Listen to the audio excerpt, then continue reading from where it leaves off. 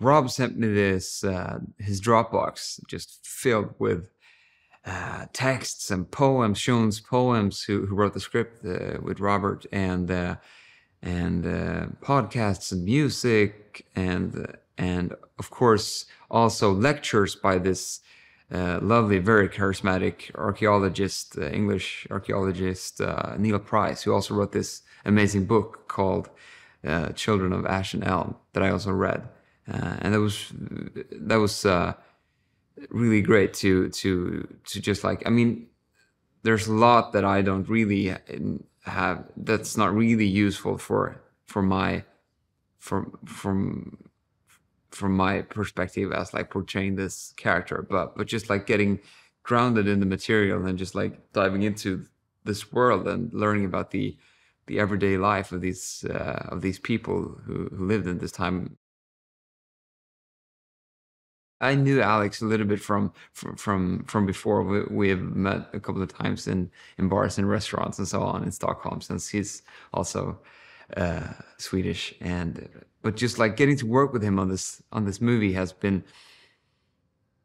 It, it's just been so great to watch him. He's such a great leading man, and he he always shows up with this with a this big smile on his face, and and he's setting this great vibe on set and and working so hard. I mean, the the the, the physical, just the physical, the physical challenge of portraying the character that he does must be uh, just overwhelmingly hard, and he does it with such grace and with yeah, as I said, he always shows up with this huge smile, and yeah, he's he's a great leader. I I think, great guy.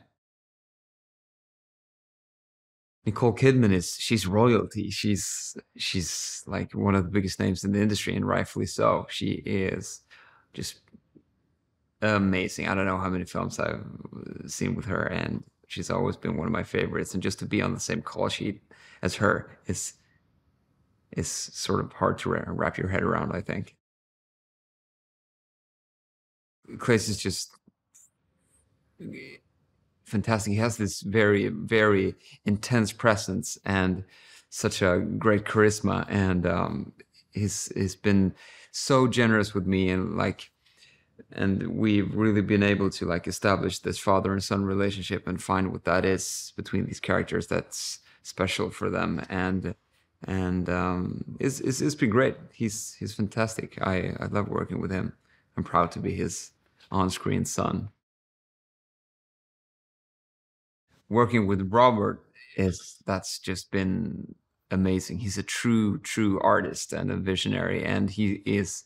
I think he's one of the most interesting directors working today, actually, and um, and he is uh, so incredibly kind and funny and humble, and he creates this space for me as an actor where I feel that I can just try things and fail and be bad, and and uh, and also he's his uh, he's very much an actor's director, and um, and um, he's also just a joy to be around. I mean, just the level of detail on the costumes and in the in the all the environments and the sets is it's just it gives you so much in in in terms of of uh, like piecing your performance together because it's especially in a time in a period piece like this, uh, it gives you so much just like just getting into the costume of, of, of, Thor and getting the rings on and the and, and the hair and the beard and all it's uh, and they're stepping onto set and you're actually like between action and cut you're actually like living the life of these people of these Vikings. It's it's really it's really a blessing to to uh, getting to do that you haven't seen an epic revenge story until you've seen it through the eyes of Robert Eggers. That's um, uh, sort of what I would say to people, and I'm very thrilled for for people to see this this beautiful and violent and poetic painting that Robert is painting. It's um, it's to be a, it's going to be a, something that the world has never seen before. I think.